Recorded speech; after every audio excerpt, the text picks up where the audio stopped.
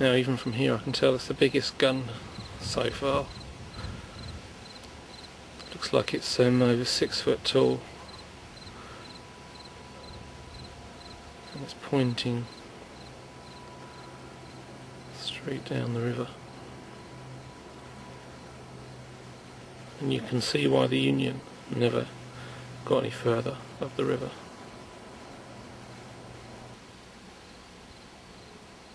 This gun is pointing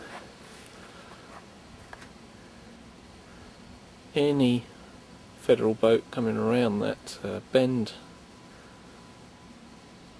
is a prime target.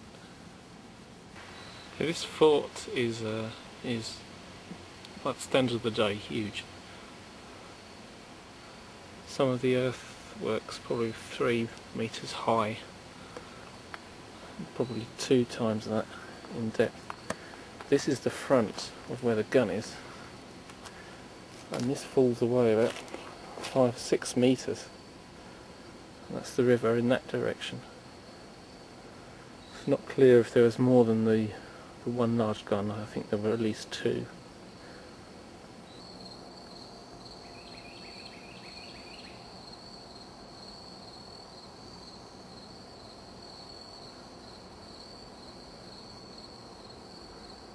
This is the furthest corner from the river.